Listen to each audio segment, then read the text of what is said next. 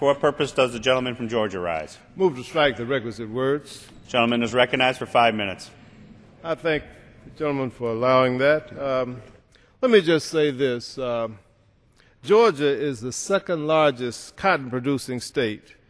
It accounts for approximately 10% of the U.S. cotton production.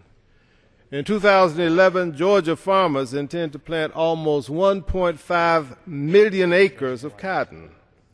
The average farm gate value is more than $600 million. There are approximately 2,800 businesses directly involved in the production, processing, and distribution of cotton. Accounting for the broader economic effects, the Georgia cotton industry supports more than 46,000 jobs, and it generates economic activity of approximately $11 billion. Now, the proponents of these amendments uh, target provisions in the cotton programs that are at the center of a WTO trade case which Brazil has against the United States. Uh, the U.S. and the Brazilian governments have scheduled a series of consultations uh, designed to identify the modifications in policy that will resolve the case. The intention is to reach agreement on carefully thought out provisions that can be included in the 2012 Farm Bill.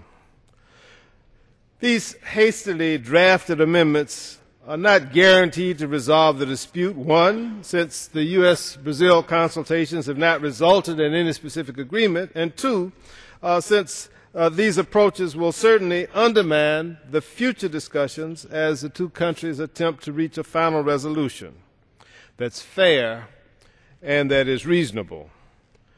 The amendments target cotton farmers in an effort to reduce government spending.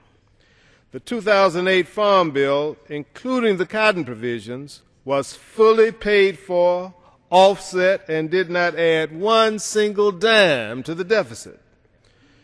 They cite the years in which the government support for cotton was historically high, but they ignore the years when the support actually is at historic lows we need to maintain the safety net so that it's there when it's needed, but not utilized, as it hasn't been recently, when it's not needed. Farmers understand that the current budget pressures, they understand that very well, but they expect to be a part of a debate involving all of the agricultural stakeholders and not be singled out for ad hoc budget reductions uh, with hasty policy decisions. These uh, proposed amendment, amendments would nullify the basic component of cotton policy. If these amendments are enacted, they would take effect October 1st, and as a result, USDA would have to change the cotton program rules in the middle of the marketing year and change them back effective October 1st, 2012. This would undermine the confidence in commodity programs, especially among agricultural lenders.